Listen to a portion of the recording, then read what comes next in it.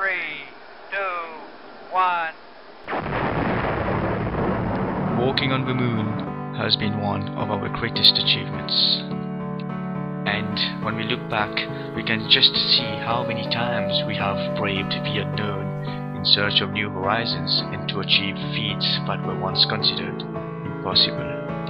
However, in our drive for progress, we have often plundered the resources of our planet, leaving very little behind. We seem to have forgotten what really matters. And even today, millions of people are living without access to clean water, food, let alone a proper health system. Disease of all kinds have claimed the lives of far too many. Imagine if we join our hands together to create a greener and healthier planet. We can certainly start by making medication more affordable.